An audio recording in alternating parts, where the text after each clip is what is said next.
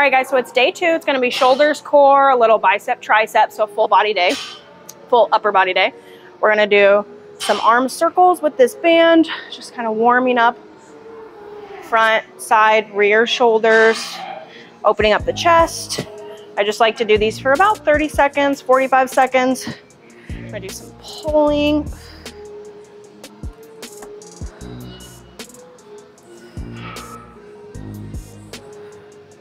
All right, so we're gonna start with the cable lateral raise. So we wanna position ourselves kind of out. And we want that hand, the palm, to kind of just come right back down to the hip. So lifting with that elbow.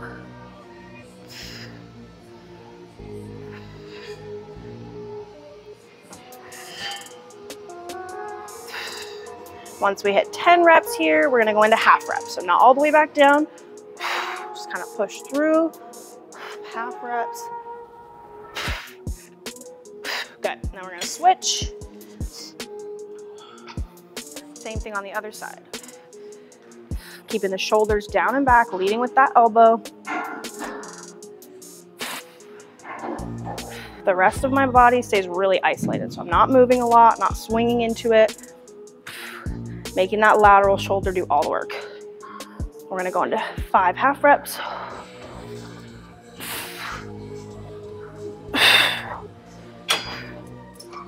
Okay, and then we're gonna go into a front raise using the same cable. So we're gonna superset these two. And I like to just kind of tuck the handle. I grab this part of the cable so that I've got a good grip. Little bend here, hinge forward, my chest is still up, shoulders down and back, and we wanna focus on this front delt. So it's a small little muscle. We gotta find its range of motion and work within it. So feeling that stretch, the biggest thing with these is not exceeding the range of motion. So I don't come super far back. I don't come all the way into it because that's gonna help make our traps take it over. So we wanna just focus where we feel that stretch and increase that tension.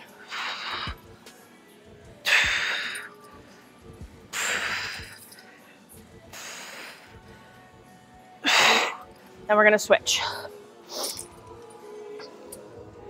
Same thing on the other side want to get all set up, I kind of come out and around. Increasing that squeeze in my hand as I come up.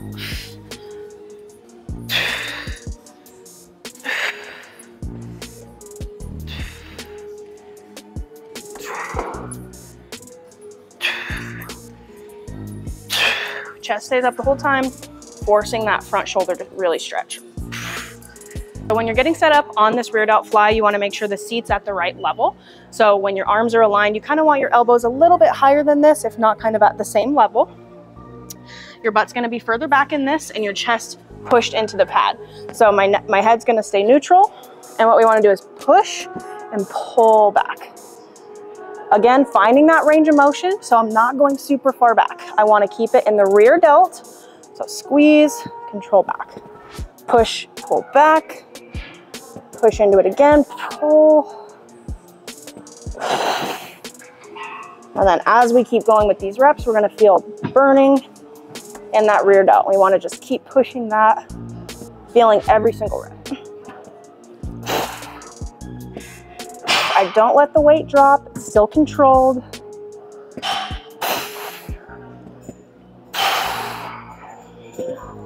Keeping the shoulders nice and back really helps So we're gonna start with some tricep kickbacks. So we're just gonna hit the triceps really quick. We don't need super heavy weight for this because our goal is mostly just to tone the arms, not get bigger bi or get bigger triceps, biceps. We want the illusion of a nice big rounded shoulder. So we'll really focus on shoulders and then just kind of barely touch on tricep, bicep.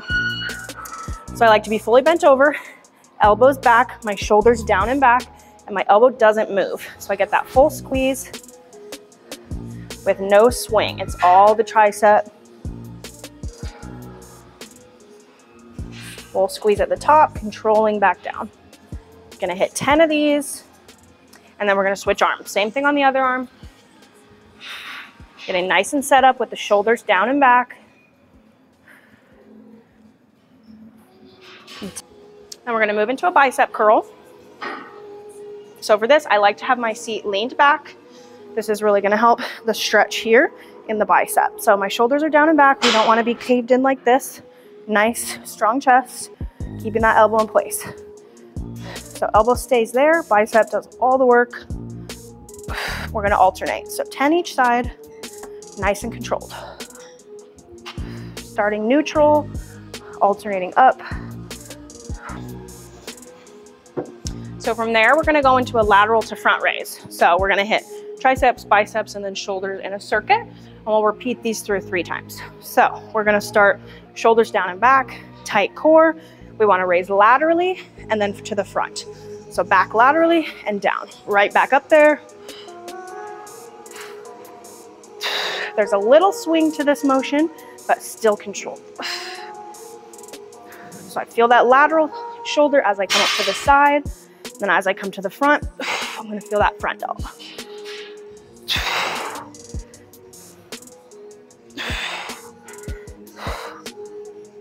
So this is gonna be a little compound movement. We're gonna be working shoulders, also the core. So I want you to set up not too far from the wall, maybe about eight inches. Hands are gonna be close together, feet are wide. So from here, I set up into a plank, nice tight here, butts down, and I want shoulders down and back. Just reaching and tapping right back down. You're definitely gonna feel on the tops of your shoulders a burn, as well as in the core. We're gonna hit 15 each side, so 30 total taps.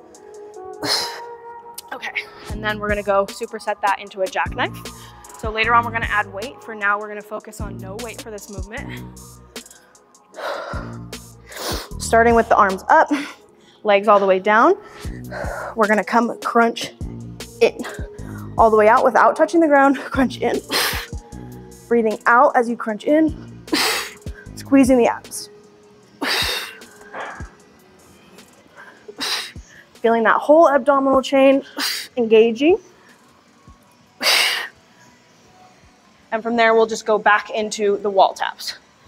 All right, guys, so end of day two. If you liked what you saw and you want to follow along further in the week, go ahead and go to my profile, and the link's going to be in my bio to go watch the rest of those channels.